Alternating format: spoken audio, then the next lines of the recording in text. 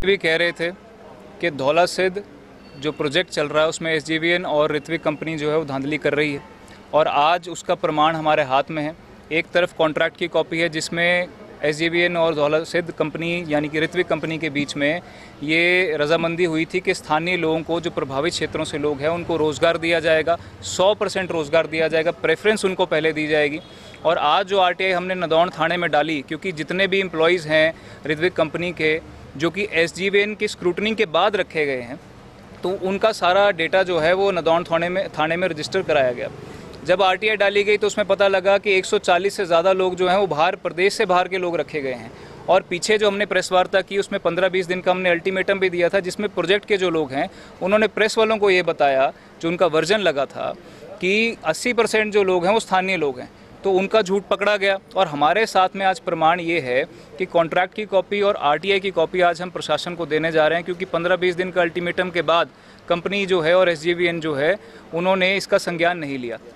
आज जो स्थानीय लोग हैं, जिनकी ज़मीनें गई हैं, जब उनसे हम लोग मिले तो ये भी पता लगा कि जो ज़मीनें हैं, वो कम दामों पे खरीदी गई। उसमें भी धोखाधड़ी हुई है और उसके ऊपर भी हम चाहते हैं कि प्रशासन संज्ञान ले। तो प्रोजेक्ट हम किसी भी कीमत पे नहीं चलने देंगे, जब तक हमें इन चीज़ों को लेकर जो हमारी जायज़ मांग है, यहाँ के लोगों की जायज़ मांग है, वो पूरी नहीं होती। आज प्रशासन के पास हम इसलिए आए हैं ताकि प्रशासन इसका संज्ञान ले और अगर प्रशासन भी इसके ऊपर संज्ञान नहीं लेता है तो आने वाले समय में यही सभी लोग जिनकी ज़मीनें गई हैं, जिन लोगों का उनका अधिकार मिलना चाहिए था, वो लोग सड़कों पर भी उतरेंगे और बाद में अगर ज़रूरत पड़ी तो हम कोर्ट का रास्ता भी अपनाएँगे। सर, गाँव लौंगनी करोड़ पंचायत से बिलोंग करता हूँ। सबसे ज़्यादा ज़मीन मारी गई है करोड़ पंचायत में। लगभग हमारी पैंतीस चालीस कनाल ज़मीन गई है। जब ये प्रोजेक्ट वाले आते थे तो बोलते थे, जी, हम आपको नौकरी देंगे। लगभग सर मेरी फोर्टी फाइव एज हो गई है अब, लेकिन आज दिन तक कोई नौकरी नहीं मिली। ठीक है जी, पढ़ा लिखा हूँ। और जिस हिसाब से इन्होंने बोला था कि हम आपको ज़मीन का मुआवजा देंगे, वो भी उस हिसाब से नहीं दिया। बात कुछ हमारे से की और और जब वो वहाँ पे पैसे की बात आई तो कुछ और जी।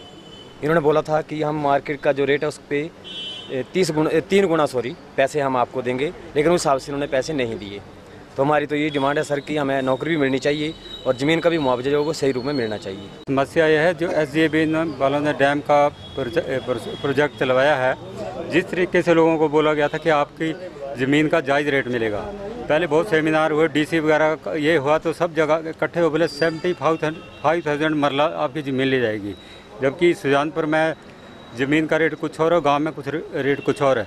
हमारे को जो लैंड एक कुछ बिल जो पास हुआ, उसके मुताबिक फोर टाइम रेट मिलना चाहिए। जबकि तीस हज़ार रुपये और पैंतीस हज़ार रुपये करनालें जब कहीं मिलती नहीं है। और लोगों को, स्थानीय लोगों को नौकरी नहीं मिल रही है। कोई भी बंदा हार्डली को दस परसेंट लोग हैं जो लोकल बंदे रखे गए हैं। सब बाहर के बंदे हैं। अगर इस तरीके से काम होगा तो लोग मिल के इसके विरोध करेंगे। विरोध तो पहले भी कर रहे हैं। माननीय सांसद अनुराग ठाकर जी आए थे ब्लेड में। उनको लेटर दिया था कि हमारे साथ ऐसा ऐसा हो रहा। जवाब दिया गया लेकिन उसका सेटिस्फैक्ट्री जवाब नहीं था। ज़मीन जब हमारी गाँव के लिए है तो फोर टाइम रेट मिलना चाहिए। अदरवाइज़ हम ज़मीन का इसका पुरजोर विरोध करेंगे ठीक है?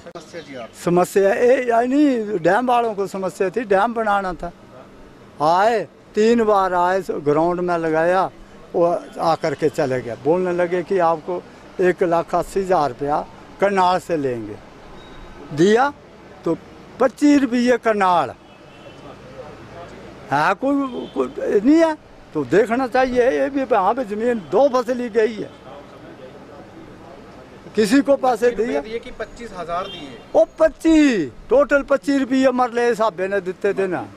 क्या बोल रहा देते? आज भी साइन है हमारे उधर। साइन है। हैं।